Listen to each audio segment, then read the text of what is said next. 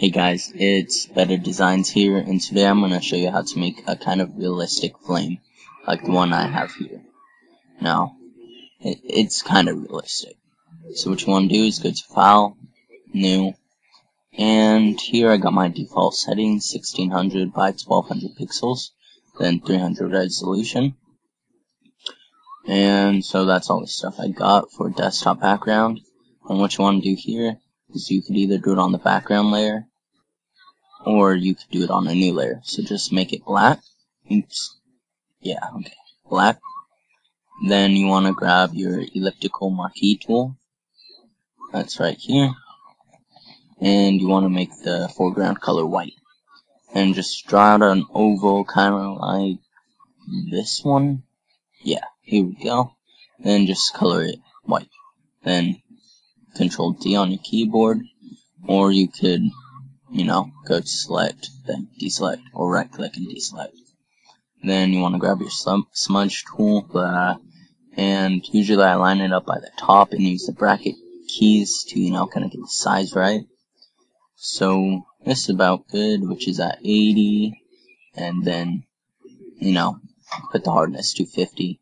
Then up here on the strength, you want to put it at 50 then with an okay amount of speed, just kind of, you know, drag across it.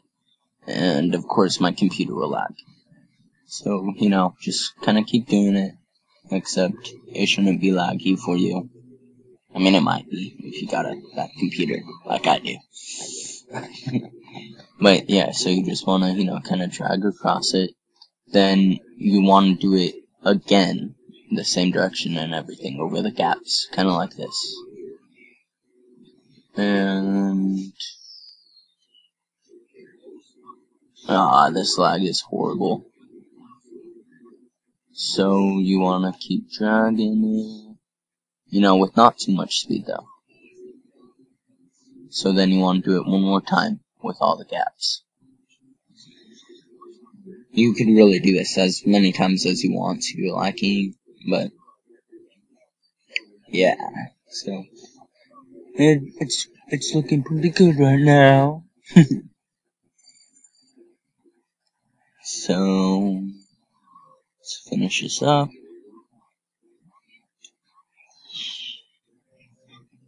And here we go. Drag that forward a bit.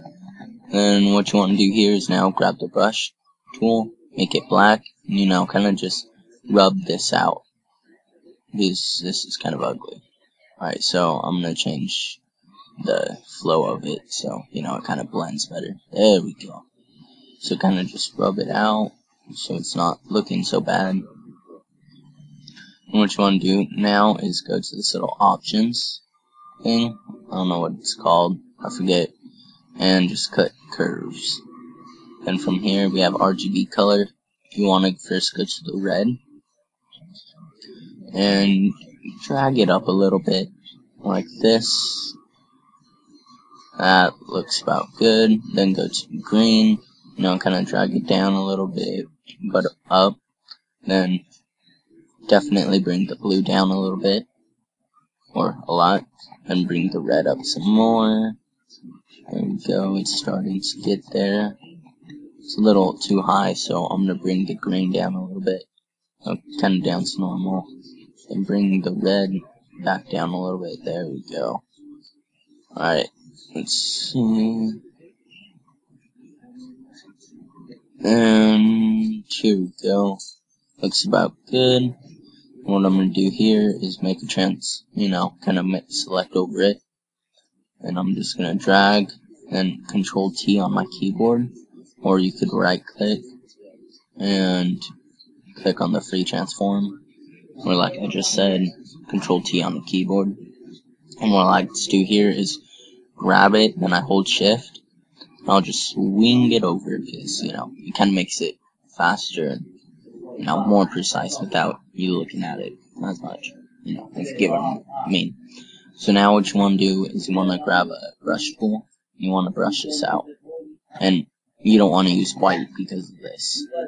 Because that's a mask up there and it's gonna, you know, show all the curves. But it won't show through black. Here, and I don't know what's wrong. Oh, oh, the flow. Make sure the flow is 100. You just kind of, you know, want to brush it out. Here we go. Or you could keep it, whatever you prefer. But, so yeah, then you want to go up to filter, then liquify. And here you just got the black and white image because it doesn't show the curves. Then here, you know, the brush is a little big. I'm going to change the brush. Let's see. Oh, no, not one, not 151. Let's change it to 50. And see how it looks. I'll keep that the same. Okay. You know, it's kind of nice, I guess. It's a little small, so I'm going to change it back to 100. Boom. There we go. And just, you know, kind of brush it around, make it look like the flame is uh, licking each other. You know, if you ever heard that saying, where the flame licks at someone. Here we go, now it's starting to kind of, you know, look like a flame. A little bit, I'm going to change this back to 50. And I'm going to add, you know, just some little detail. Uh, this won't look probably as good as my, you know, my last one. Even though, I don't know if that looked any good, I thought it did. But, you know, you could really put a lot more detail on it. So from here, you just want to click on OK. And because of my crappy computer, it might take a second. There we go. It looks good. Let's see, 652. Now let's, you know, grab the, you know, the, what's called, rectangle marquee tool. And just, you know, kind of make it under so I could just get the brush and, you know, brush over it. So it's kind of got that flat bottom. Later on I'll put it at the bottom, but probably not in this tutorial. And let's just zoom in and let's kind of make it darker. So I'll put the flow down. I'll grab the, I already have the brush out, and I'll just, you know, kind of flow over it, make it a little bit smaller. Let's see, okay, that looks about right. So then, so know, kind of make it darker at the base. What I'm gonna do is make the uh, brush a little smaller. And what I did there was uh, I used the bracket tool I'll just kind of, you know, make it go up into the licks. There we go. And it's starting to look good. Then I will grab the white. I'll grab the white and I'm just, you know, kind of rub it out. Okay, we need the brush to be a little bigger. There we go. Just, you know, kind of rub it out so it's not, you know, so weird looking. So yeah, here's the original image that I did. And, you know, I took a lot more time on the detail of the licks and stuff. So, you know, you could take a lot more detail into it. And here I created a new layer and I just made black over the flame, you know, the kind of base of the flame.